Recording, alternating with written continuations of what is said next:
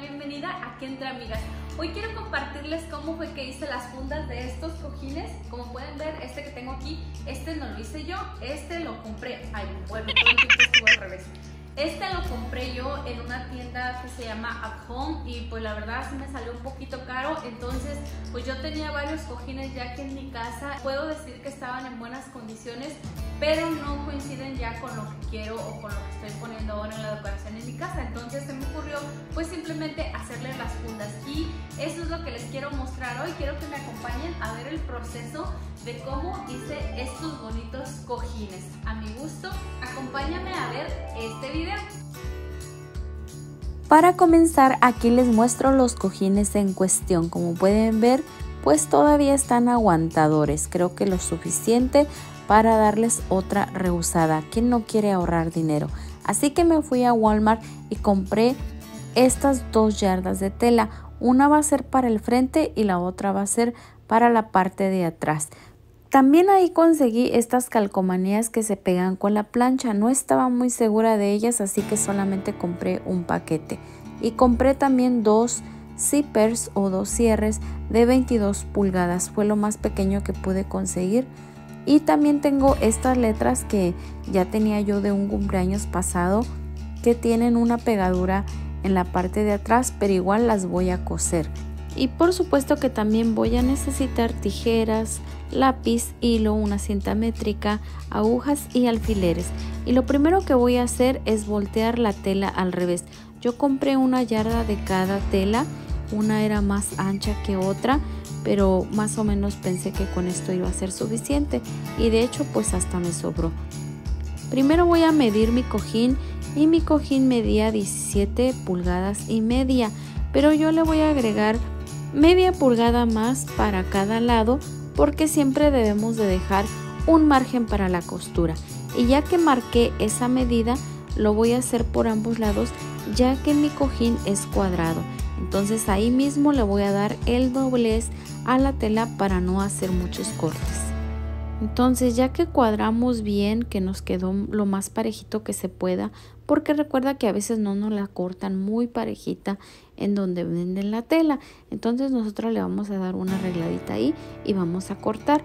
Lo mismo voy a hacer con la otra tela.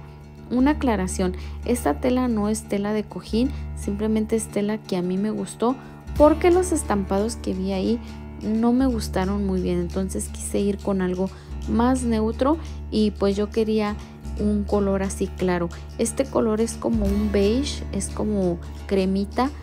Aquí no se aprecia muy bien por la iluminación, pero bueno, lo importante es que los cojines nos gusten, que las fundas queden a nuestro gusto y muchas veces eso es lo que no encontramos en la tienda y por eso optamos por hacer nuestras propias cositas. Y aquí ya estoy armando los pares, como les dije, la parte brillosa va a ir por encima y la parte lisa por abajo. Entonces voy a hacer la presentación de cómo voy a poner mi decoración y eso es lo primero que se hace. Antes de hacer la costura voy a pegar los stickers y bueno, simplemente voy a seguir las instrucciones que venían en el empaque.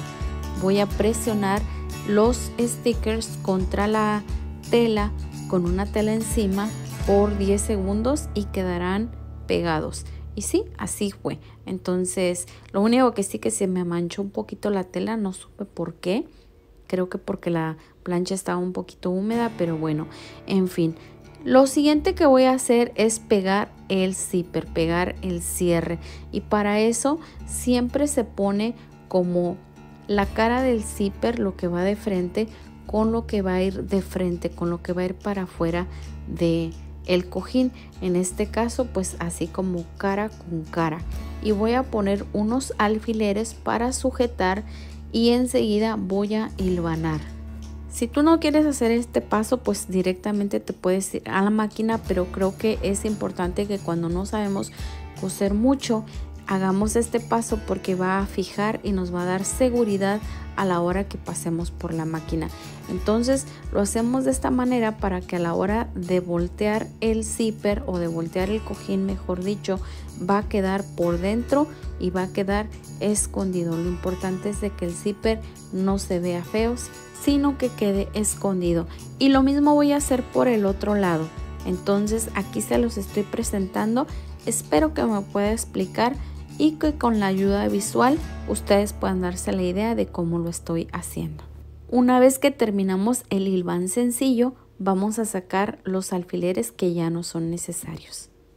Cuadramos una vez más y ahora sí vamos a pasar por la máquina, pero recuerden que ya está hilvanado nuestro zipper o nuestro cierre.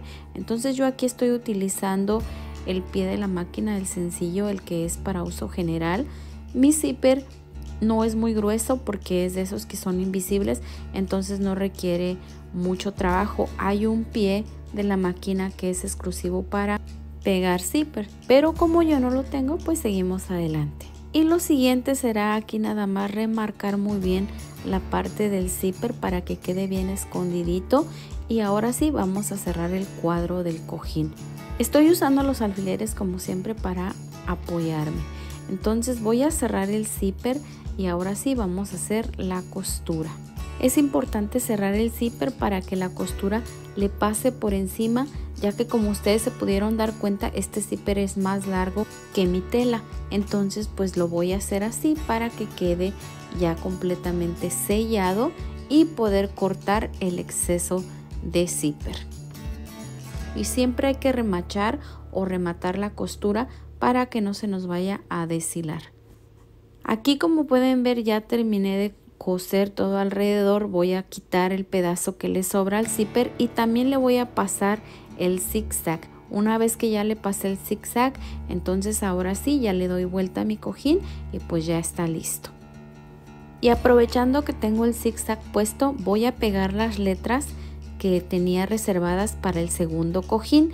Como les decía, estas letras nada más tenían un papel adhesivo en la parte de atrás, entonces hay que reforzarlas. Y el procedimiento del zipper lo voy a hacer un poquito diferente porque aquí a la hora que ya puse el zipper le voy a dar un doblez a la tela y lo voy a remachar por arriba esto es para que a la hora que esté terminado se vea ese borde de costura alrededor del zipper es nada más como otra manera de hacerlo y se las quiero mostrar.